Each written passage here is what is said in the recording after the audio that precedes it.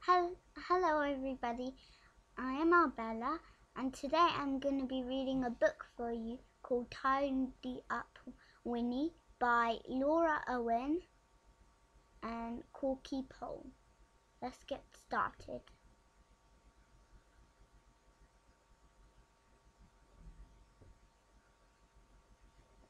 Glug glug splurp.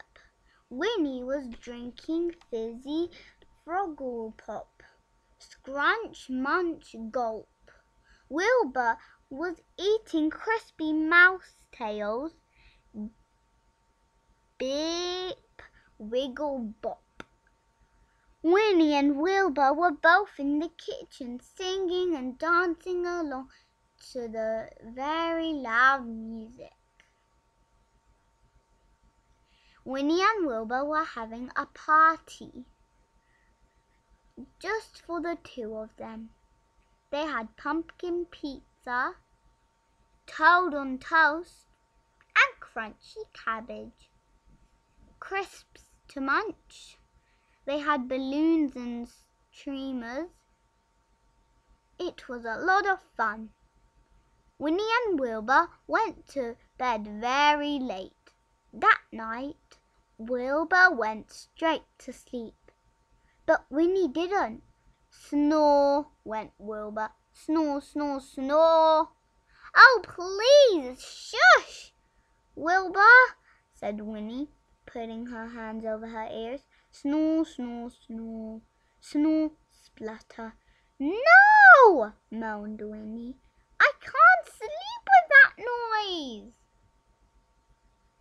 Winnie put her pillow over her head, but she couldn't get to sleep.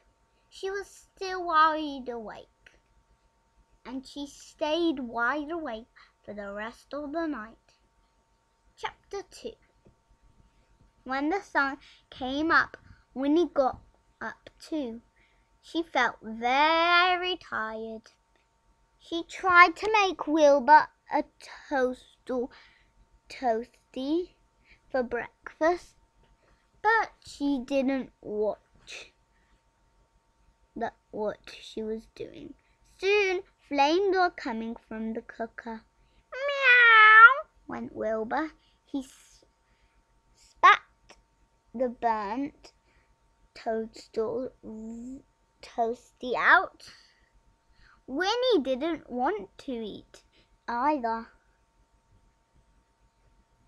So they opened the can of beans and had th them for breakfast instead.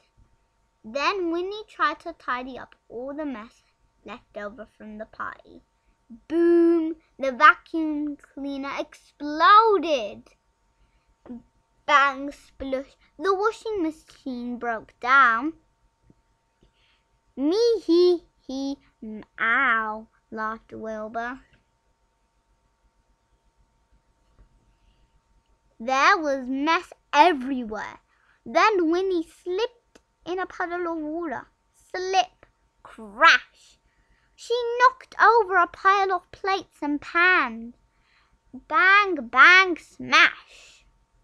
Bang, clang, smash. Oh, soggy slug bottom, cried Winnie, over co covering her ears. I wish I could float away from all this noise and go somewhere calm and quiet. She waved her wand. Abracadabra! At once, Winnie was inside a giant bubble. It floated silently out through the window and up into the sky. Ah! Said Winnie. She closed her eyes and snoozed for a while as she floated up and up. When she opened her eyes, she saw birds, planes passing, but she couldn't hear them. Perfect, said Winnie. Then she looked down. Her house looked tiny. Far down below, Wilbur was only the size of a flea. Oh, said Winnie, I'm too high up in the sky. Get me down! But Winnie couldn't wave her wand in case she stopped the bubble. Help! she said, feeling a bit panicky. Help! No sound came out of the bubble. But a small sound came from Winnie. Inside the bubble, Pop! Whoops, said Winnie. The bubble got a little bit bigger. Pongy wongy, said Winnie. Why did I eat those beans for breakfast? Wilbur, save me!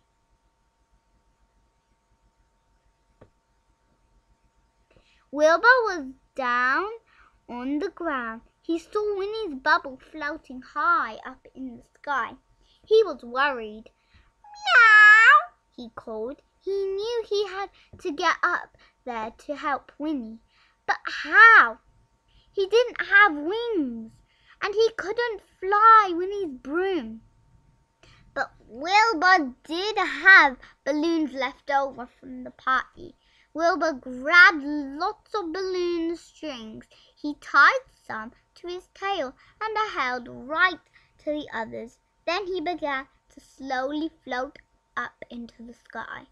Chapter 3 Up, up, up went Wilbur until he was next to Winnie's bubble. Winnie was waving and moving her mouth. Get me out of this pongy bubble, she shouted. But how could Wilbur burst the bubble without letting Winnie fall from the sky? Meow! Wilbur had an idea. He let go of, of one balloon. Wilbur called Winnie.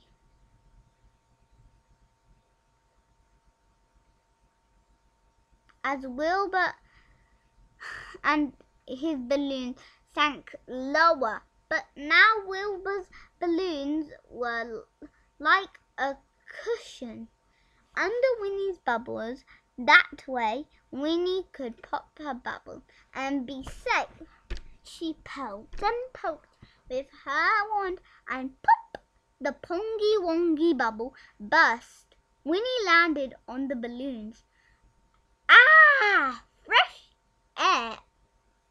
She said. But Winnie was heavy, and the balloons quickly began to sink. Whoops! Tweet, tweet!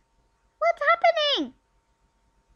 Began Winnie as a flock of big, beaky birdies flew alongside her.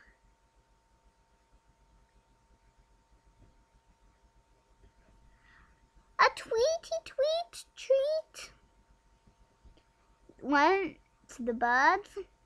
They thought Wilbur's brightly coloured balloon looked like juicy fruit, so the birds started to peck the balloon. Peck, peck, pop, pop, pop. One by one the balloons all went pop. Winnie and Wilbur started to fall. Winnie flapped her arms, trying to fly. I it didn't work. Just then Winnie remembered that she had her wand. Abracadabra, she shouted. At once a big umbrella appeared. Winnie and Wilbur floated down slowly and landed gently in a lovely soft flowery meadow. Tweet, tweet, sang some birdies. I've had enough of birdies for one day, said Winnie, but at least I'm safe on the ground. Meow, said Wilbur. Yawny yawn. I'm tired too, said Winnie.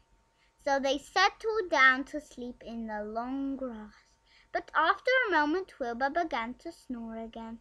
Snore, snore, snore. Not again! Cried Winnie, but she was so tired that soon she was snoring too. Snore, snore, snore. grunt, grunt, grunt, snore. So it was only the birdies who had to cover their ears. The end. Thank you for listening to me read. Hope you enjoyed it. Bye.